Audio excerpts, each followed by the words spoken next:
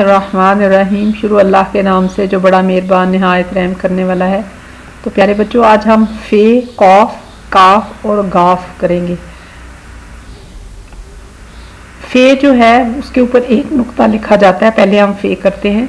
فے سے بنتا ہے فوجی۔ آپ میں سے اکثر بچے بڑے ہو کر فوجی بننا چاہتے ہیں۔ لیکن کب دیکھا آپ نے، فوجی یونیفارم میں ہوتے ہیں، صاف ستھرے ہوتے ہیں، چاقو چو بند ہوتے ہیں۔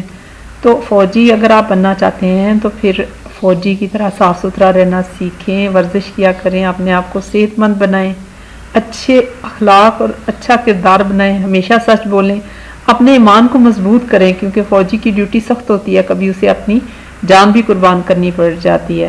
تو فے سے بنتا ہے فوجی، پھر فے سے بنتا ہے فرض۔ فرض کہتے ہیں وہ کام جو دل کرے نہ کرے ہر حال میں کرنا ہوتا ہے۔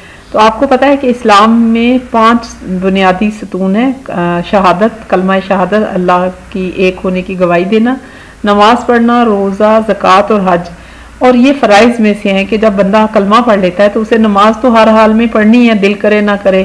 اور روزے بھی رکھنے ہیں، ہر سال میں ایک ماہ کے روزے ہوتے ہیں۔ اور اگر اس کے پاس صاحب نصاب ہے، اتنے پیسے ہیں تو زکوٰۃ بھی دینی ہے۔ اور اگر مالدار ہے تو حج بھی کرنا ہے۔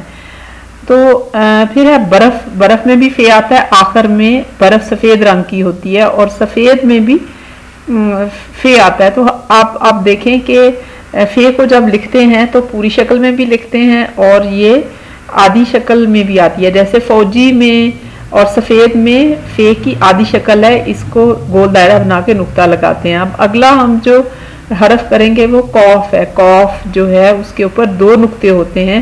اور قوف سے قرآن شروع ہوتا ہے۔ قرآن جو ہے وہ اللہ کی کتاب ہے اور اس کی حفاظت کا ذمہ بھی اللہ تعالیٰ نے لیا ہے۔ اس کتاب میں اللہ تعالیٰ کہتا ہے کہ کوئی غلطی نہیں ہے۔ تو پیارے بچوں، اگر ہم مسلمان ہیں تو ہمیں قرآن کو سمجھ کے پڑھنا چاہیے، ترجمے کے ساتھ پڑھنا چاہیے۔ تو آج سے آپ اپنے، آپ روز تھوڑا تھوڑا پڑھنا شروع کریں گے تو ایک دن آپ کو پورا قرآن آپ ختم ہو جائے گا۔ قرآن، قوف سے قلم۔ قلم سے ہم لکھتے ہیں اور آپ کو پتا ہے کہ صورت میں قرآن مجید میں ایک صورت ہے جس میں قلم سے، نام سے ہے اور اس میں اللہ تعالیٰ نے قسم کھائی ہے لکھنے والوں نے، لکھنے والوں سے جو لکھتے ہیں۔ اور ایک اور جگہ قرآن میں آتا ہے کہ اگر ساری دنیا کے جنگل جو ہے وہ قلم بن جائے تو اللہ کی باتیں ختم نہیں ہوں گی۔ تو قلم جو ہے تو ہم جو کچھ منہ سے نکالتے ہیں، جو کرتے ہیں، وہ اللہ تعالیٰ کے فرشتے نوٹ کر رہے ہیں۔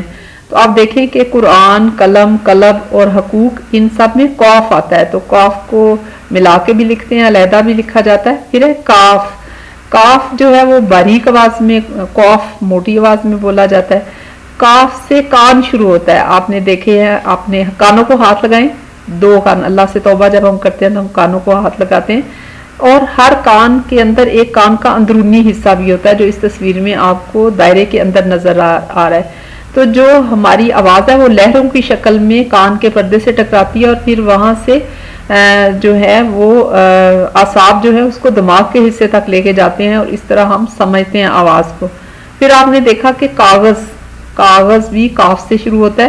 کاغذ سے آپ کی کاپیاں بنتی ہیں، کتابیں بنتی ہیں، کاغذ کے اوپر لکھا جاتا ہے، پھر ہم اس لکھے ہوئے کو پڑھتے ہیں۔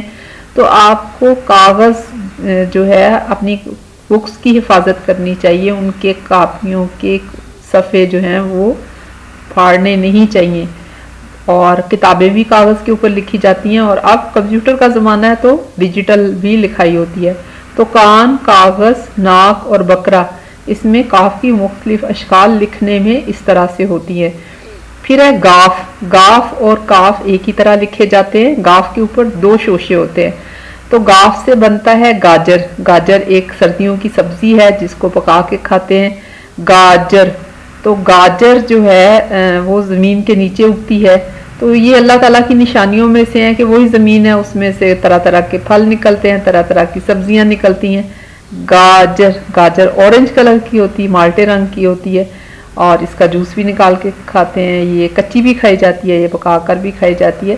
پھر ہے گاف سے گرمی۔ آپ نے دیکھا ہے کہ گرمیوں کا جب موسم آتا ہے تو شدید گرمی لگتی ہے، پسینہ بہتا ہے، پنکھے آن کر دیتے ہیں ایئر کنڈیشن میں بیٹھتے ہیں اور پانی پیاس زیادہ لگتی ہے۔ تو اللہ تعالیٰ نے جو گرمیاں، سردیاں، خزاں اور بہار کا موسم اس لیے بنایا ہے کہ انسان جو ہے وہ بور نہ ہو جائے اور پھر ہر موسم کے ساتھ اس کے پھل اور سبزیاں جو ہیں، ان کے پکنے کے اوقات جو ہیں وہ بھی فرق ہو جاتے ہیں۔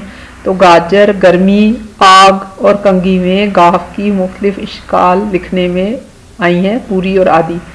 تو پیارے بچوں، محنت کرنا سیکھو، استاد کی عزت کرو، استاد کی بات مانو اور آپ اسکول آتے ہیں تو تعلیم حاصل کرنے کے ساتھ اپنے اخلاق اور کردار کی تعمیر بھی کریں۔ آج سے کام شروع کریں گے تو پھر انشاءاللہ جب بڑے ہوں گے تو اچھے شہری، اچھے پاکستانی، اچھے مسلمان بنیں گے۔ امید ہے آپ کو سبق پسند آیا ہوگا۔ اس کو لائک اور شیئر کرنا مت بھولیے گا۔